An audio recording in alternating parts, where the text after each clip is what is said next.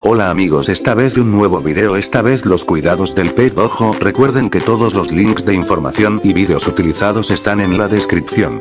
Clasificación científica Reino, Animalia, Filo, Chordata, Clase, Actinopterygii, Orden, Kipriniformes, Familia, Covitidae dojo, lobo del Japón, locha japonesa del tiempo, pez barómetro en español se le conoce también por misburno, nombre que puede dar lugar a confusiones, ya que Misburnus fossilis, una especie europea, es llamada a veces con ese nombre.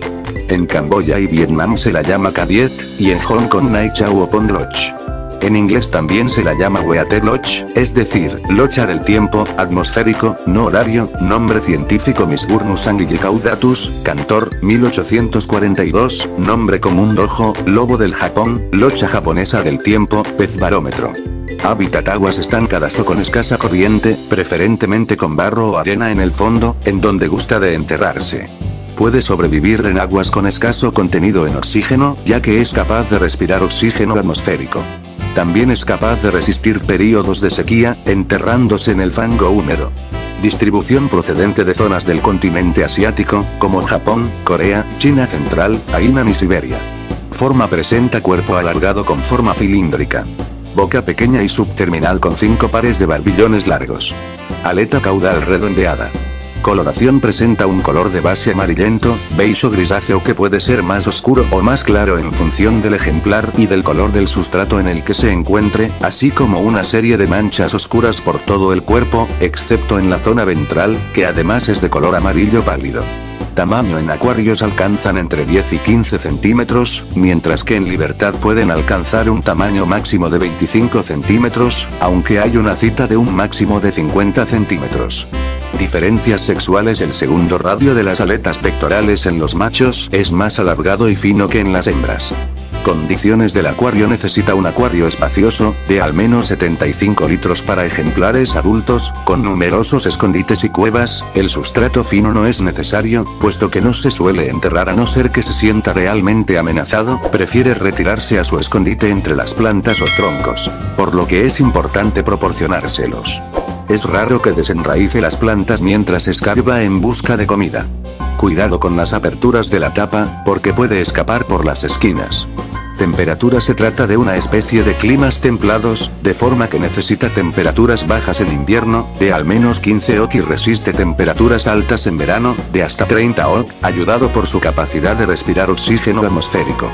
Puede vivir todo el año en aguas tropicales, aunque no es lo más adecuado.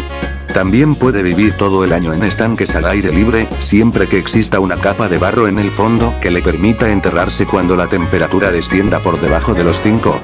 Agua es una especie poco exigente en este aspecto, ya que se adapta a distintos valores de agua, aunque se puede decir que unos buenos valores serían de un pH entre 6, 5 y 7, 5 y una dureza media. Alimentación omnívoro, acepta cualquier alimento en cautividad sin problemas. Pastillas para peces de fondo, escamas, sticks para cíclidos, larvas de mosquito, pequeñas lombrices, guisantes cocidos, parece ser que las algas forman parte importante de su dieta, consumiendo estas cuando escarba en el sustrato, filtrándolas, junto con otras partículas alimenticias, mientras que las pequeñas piedrecitas que ingiere al rebuscar en el sustrato son expulsadas por las branquias comportamiento es esta una de las características que hacen a este pez muy interesante, pues es una especie bastante inquieta, curiosa y muy pacífica. Se pasa gran parte del día buscando comida en el fondo del tanque, alternando esta búsqueda con paseos por todo el acuario, desde el fondo a la superficie y rodeando los cristales del acuario.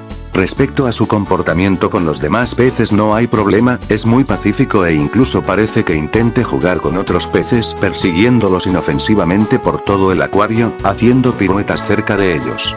Tampoco hay problemas entre ejemplares de la misma especie. Reproducción Aunque todavía no se consigue regularmente en acuarios, se conocen algunos detalles de su reproducción, como que son capaces de tener varias puestas al año, de entre 1800 a 15.000 huevos, que son rojos, pequeños y adhesivos. El período de reproducción para esta especie comprende desde finales de primavera hasta principios de otoño, cuando la temperatura del agua es más elevada, por lo tanto probablemente sea necesaria una estancia en aguas frías durante el invierno y una subida progresiva de temperatura para inducir al desove. Los machos alcanzan la madurez sexual al año de vida, mientras que las hembras lo hacen entre el primero y el segundo. Curiosidad, esta especie es consumida en algunos países en los que habita, como Japón. Ha sido introducida con éxito en algunos países como Estados Unidos, donde se la puede encontrar en estados tan distintos como Michigan y Florida, lo que habla de su capacidad de adaptación y supervivencia, así como Australia. Recuerda que contamos con un grupo en Facebook, el link al enlazar grupo está en la descripción. Esperando que el video haya sido de tu agrado, me puedes apoyar con un like y suscribiéndote al canal. Se despide Aquarius Golo hasta